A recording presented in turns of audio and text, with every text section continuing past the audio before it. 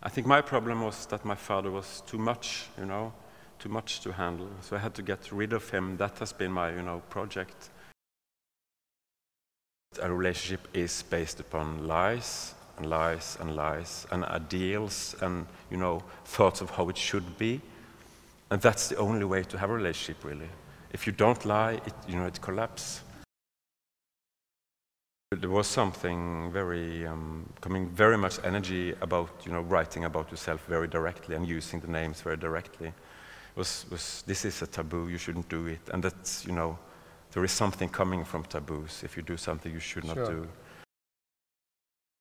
One of my favorite quotes are about writing is Lawrence Durrell, and he says, you, to write or to make art is to set yourself a goal and then you go there in your sleep. And it is like that, I think. I think I spent many weeks in writing those. I tried to write as good as I could, and I wanted it to be perfect, you know.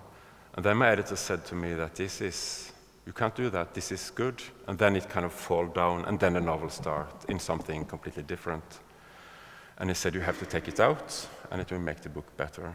And I said, no, no, I have to have it because this is the only place in the book where I, you know, I know this is good, so people can see, oh, he can write. I mean, he is, he is good.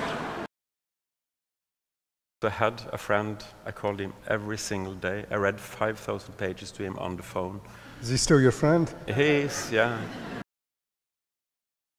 Yeah, I remember I, I took, brought it with me on, on a plane. I thought, I, because I, had, I was writing all the time, you know, and there was a plane to Iceland. I thought I could have an hour, I could read it. And then I realized, no, it is not possible. But we panic around if you read Mein Kampf. and this is the only book I can think of that has this aura, you know. It is evil in itself. As every writer have, have ambitions, I want to write something, you know, great or, or, or very good.